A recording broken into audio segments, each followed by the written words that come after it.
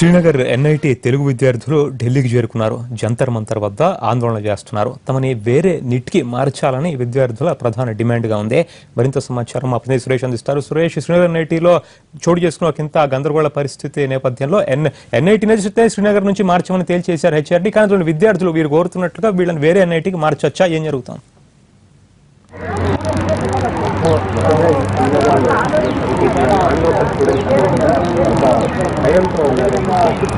పరితోష్ చూసుకుంటే ఇప్పుడు ప్రస్తుతం ఏపీ తెలంగాణ భవన్లో ఎన్ఐటి శ్రీనగర్లో చదువుకున్న విద్యార్థులందరూ కూడా ఇక్కడికి చేరుకున్నారు. వీళ్ళంతా కూడా అకాడమిక్ ఇయర్ మధ్యలో అక్కడ ఉన్న ఇన్సెక్యూర్గా ఫీల్ కావడంతో ఇక్కడికి రావడం జరిగింది. ఇండియా వెస్టిండీస్కు సంబంధించి క్రికెట్ మ్యాచ్ జరిగిన సందర్భంలో ఈ విద్యార్థులకు అక్కడ ఉన్న లోకల్స్కు మధ్యలో సంఘటన చోటు చేసుకున్న తర్వాత ఉద్రిక్త పరిస్థితులు లాఠీచార్జ్ వీటన్నిటిని దృష్టిలో ఉంచుకొని విద్యార్థులు వారి స్వగ్రామాలకు వెళ్ళేందుకు అకాడమిక్గా మధ్యలోనే వచ్చడం జరిగింది. దాంతో మనతో మాట్లాడేందుకు విద్యార్థులు సిద్ధంగా ఉన్నారు. చెప్పండి అసలు ఏమైంది ఎన్నిటిలో? ఏం జరిగింది? ఎందుకు ఈ రోజు మీరు అకాడమిక్ మధ్యలో రావడం జరిగింది? అక్కడ మాకు సేఫ్టీ లేదని మేము అనుకుంటున్నాం సార్. ఆ రోజు దాని తర్వాత J JK police lathi charge మా మీద వాళ్ళే ఓపెన్గా మేము మిమ్మల్ని కొడతాము. అంటే మమ్మల్ని రెచ్చగొట్టడము. బయటకు వచ్చేలా ఇలా చేస్తున్నారు సార్. ఒకవేళ ఇప్పుడు అంటే సిఆర్పిఎఫ్ ఉంది సార్. కొన్ని రోజుల తర్వాత అది వెళ్ళిపోతుంది. ఎన్ని రోజులు ఉంటుంది సార్ మా కాలేజీలో? దాని తర్వాత మేము ఒకవేళ బయటకు వెళ్ళినప్పుడు వాళ్ళు డైరెక్ట్గా ఫేస్ ఈ లెక్చర్స్ అయితే ఫేస్బుక్లోనే డైరెక్ట్ పెడుతున్నారు సార్. మేము మిమ్మల్ని అకాడమిక్గా దెబ్బతీస్తాము. మీరు ఫోర్ ఇయర్స్ డిగ్రీగా సిక్స్ ఇయర్స్ డిగ్రీ తీసుకొని వెళ్తారు కాలేజ్ నుంచి.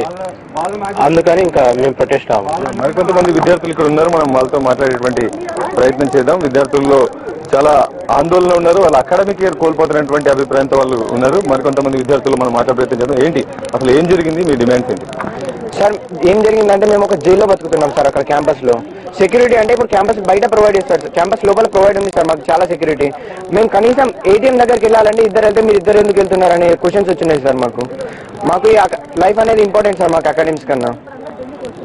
సంఘటన ఎలా జరిగింది అది? ఆ సంఘటనలో ఏ విధంగా మీరు ఫేస్ చేశారు? ఇన్సెక్యూర్గా అంటున్నారు? ఎలా అనిపించింది అంటే ఆల్రెడీ మన India versus West Indies match ఓడిపోయినప్పటి నుండి మేము బస్ అయ్యాం సార్.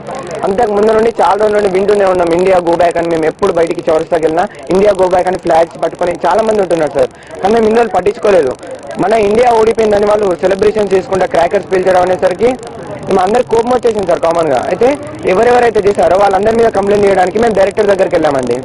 డైరెక్టర్ దగ్గరికి వెళ్తే డైరెక్టర్ సార్ ఏమన్నారు మేము పర్మిషన్ మేము వాళ్ళని చూస్తాము అది చేస్తాము ఇది చేస్తామన్నారు. మెస్ట్ ఆఫీస్కి ఎప్పుడైతే వెళ్ళి వాళ్ళ ఎవరెవరు అబ్బాయిలు ఎవరైతే చేశారో వాళ్ళందరూ వీడియో తీసి ఏమేం చేస్తున్నారు క్రాకర్స్ ఎట్లా పేల్చింది అవన్నీ తీసి వీడియో తీసి సార్లకు ఇస్తే మీ కిటికీ అద్దం మీరే పలగొట్టుకున్నారు మీరే క్రాకర్స్ పలగొట్టిను అని చేసేసి మళ్ళీ మా అధికారులు కూడా ప్రొఫెసర్స్ కూడా వాళ్ళ సపోర్ట్ అంతా వాళ్ళే సార్. వాళ్ళు చెప్పింది ఏంటంటే మీకున్న four years degree six seven years తర్వాత ఎట్లా తీసుకెళ్తారో మేము చూస్తామండి ఫోర్ ఇయర్స్ మీ డిమాండ్స్ ఏంటి ఇప్పుడు? ఢిల్లీకి వచ్చారు ఢిల్లీలో ఉన్నారు. ప్రస్తుతం ఇక్కడ సెక్యూర్గా ఉన్నటువంటి పరిస్థితుల్లో. ఏం చేయాలనుకుంటున్నారు నెక్స్ట్ మీ సార్ మా మేము మాకు తెలిసింది ఒకటే సార్ ప్రొటెస్ట్ చేయడం. అంతే సార్. మీ డిమాండ్ ఏంటి? ఏం కావాలని కోరుకుంటున్నారు? ప్రొటెస్ట్లో మీరు ఏం సాధించుకోవాలనేటువంటి ఉద్దేశంతో మీరు ప్రొటెస్ట్ చేయడం సిద్ధమవుతారు మా ప్రొటెస్ట్కి ఒకటే ఉద్దేశం సార్ ఎన్ఐటి షిఫ్ట్ కావాలి.